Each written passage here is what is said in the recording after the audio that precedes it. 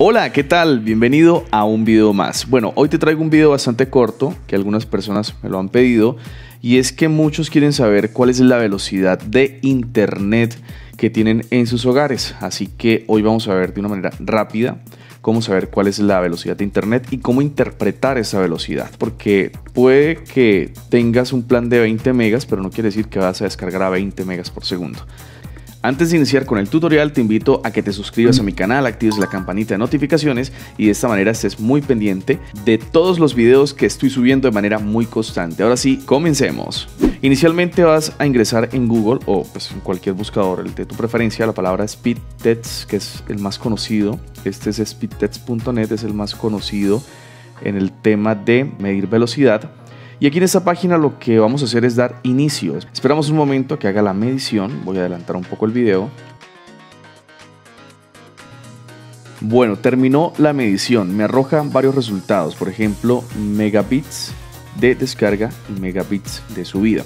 Inicialmente te voy a decir qué son los megabits. Los megabits es la medida de conexión, porque están los megabytes, que es la medida para el peso de un archivo. Entonces cuando decimos no, tenemos un plan de 20 megas, creemos que es que vamos a descargar a 20 megas por segundo y no es así.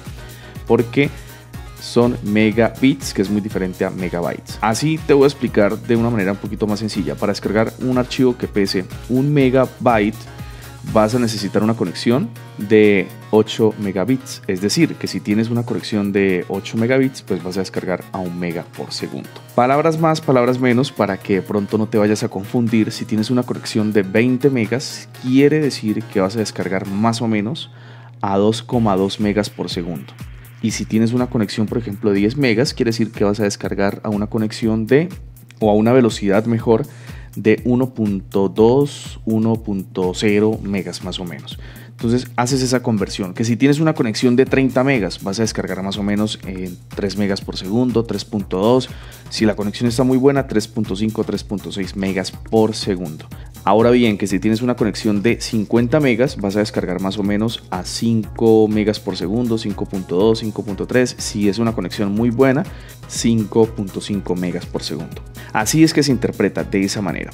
Así que de esta manera nos podemos dar cuenta si la empresa que nos presta el servicio de internet mm, pues nos está brindando realmente el servicio que nos está eh, vendiendo. En mi caso me muestra que tengo 15.17 megas de descarga y 15.24 megas de subida. Ahora, ¿qué es descarga y qué es subida? No te lo expliqué al inicio. Las megas de descarga es la velocidad que tengo para descargar un archivo y lo de subida es la velocidad que tengo para subir un archivo, para cargar un archivo a la nube. Por ejemplo, si voy a descargar un video, obviamente es velocidad de descarga, pero si voy a subir un video, entonces es velocidad de subida. En este caso tengo una conexión muy similar. Sin embargo, mi plan es de 20 megas y aquí me muestra que tengo 15 megas solamente, quiere decir que ahí tengo ya un descuadre de 5 megas. Tengo que llamar a la empresa y decirle, oye, ¿qué está pasando? Mi plan es de 20 megas y solamente me muestra 15 megas. Pero sí lo que quiero eh, recalcarte es que el hecho de que tengas 20 megas de navegación, 20 megas de descarga, perdón, no quiere decir que vayas a descargar archivos a 20 megas por segundo, no. Por acá te voy a dejar un video acerca de cómo grabar la pantalla de tu computador sin utilizar ningún programa, totalmente online, sé que te va a servir muchísimo. También te invito a que te suscribas a mi canal, actives la campanita de notificaciones y de esta manera siempre estés atento o atenta a todos los videos que estoy subiendo de manera muy constante. Te agradezco mucho por ver mis videos y nos vemos en una próxima ocasión. Adiós.